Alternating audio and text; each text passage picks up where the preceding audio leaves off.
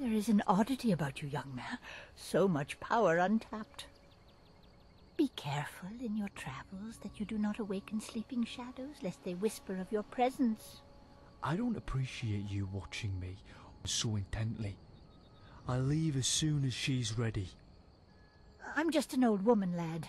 It is not me that you should be concerned about. It is not I watching from the shadows and waiting for you to stop running. Whatever it is, we can handle it. I do hope for your companion's sake that you're right.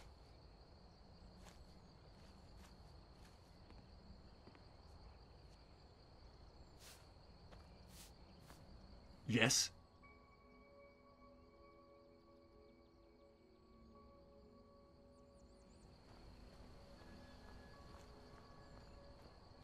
Oh my, he could steal my sweet roll any time.